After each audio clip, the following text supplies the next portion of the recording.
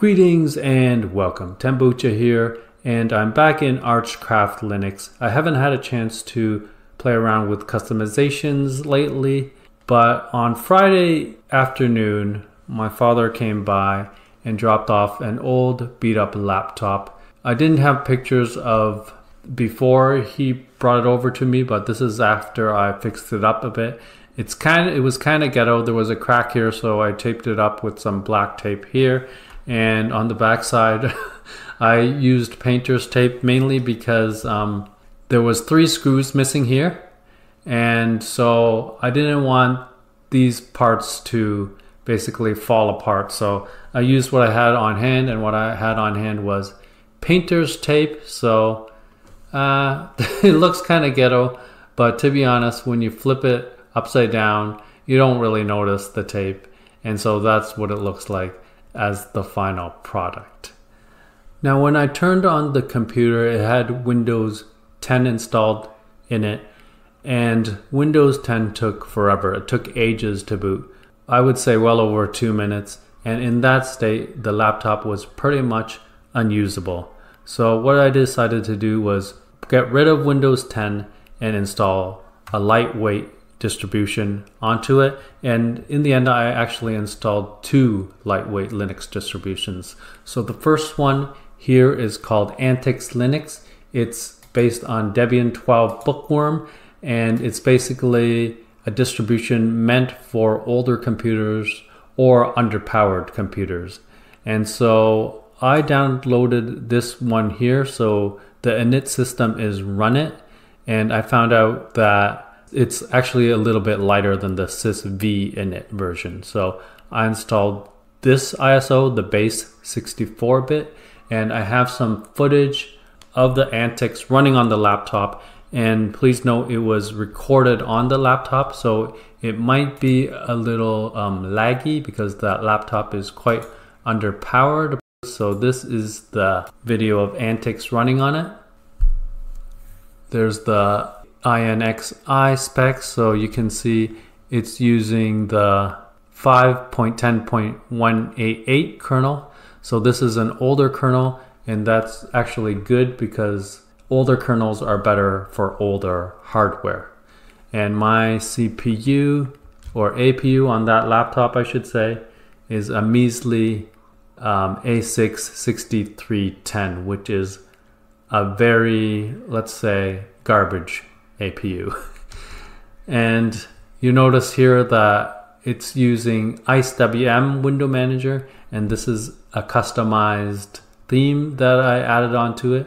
I customized it while I was playing around with Spiral Linux and then I just upgraded it slightly and also I altered the menu of the IceWM. So this menu is more simple and more clean looking in my opinion. So it didn't look quite exactly like this, but that's not the point here. The point here mainly is to show you how uh, snappy this computer is running with this lightweight distribution called Antix. And please note that in reality, it's actually faster than this and smoother than this. It's just that it's running the screen recorder. So the screen recorder was kind of laggy. So it actually ran very fast on this system. But one thing I should note since its processor is slow, Firefox did take a while to load. It took several seconds to load and loading YouTube took noticeably longer than my main computer. But at the end of the day, after YouTube was loaded, the videos ran fine even at 1080p. And here you can see it's got Synaptic Package Manager installed. I just went through this quickly in the video. It's not anywhere close to being in depth, but this is the default file manager, ZZZFM, and I also added PCManFM to this um, operating system. But I never intended for my dad to use Antix, even though it's a great operating system. My dad is not that tech savvy, and I wanted him to use a simpler operating system, and I chose Vanilla DPup, which is a variant of Puppy Linux. And this is the basic theme, the overall look of it when you first installed it. and I have some footage of that also. So I'm just going to play it for you now. So this is the bootloader. I did customize it a bit and I did have a hard time installing Vanilla Dpup. I succeeded by adding my own boot menu entry into the Antix GRUB loader and in the end I was happy that Vanilla Dpup worked and started booting. It is a frugal install if you know what that is. That's a puppy thing. But this is the JWM window manager. It looks okay. I did try to modify it a bit. I changed the theme and the background, but you can only do so much with Joe's window manager. And I wasn't happy with the look of it. And so I fooled around with it some more. And this is what I came up with. And this is how it's going to boot up for my father. So here's once again is the INXI specs for it. And you can see it's rocking a totally garbage 6310 APU. And that's just showing off the word processor. I don't know if my dad will use it, but I just thought I'd throw it in there if he needed some notes or something like that. And I made sure I locked the icons here, right here in the plank uh, dock just in case he were to accidentally grab one of these icons and bring them out. That's an easy way to delete icons in the plank dock. So I made sure I locked it so that that wouldn't happen. And you notice here, I didn't show the demonstration, but it does come with Firefox. This by far is the biggest app on here on the dock and it takes the longest to load. Everything else ran smoothly, but Firefox does take a few seconds to launch, but after it launches, everything works fine. YouTube runs at even 1080p, so that's all he really needed. He needed something to browse the web with and basically to watch YouTube with.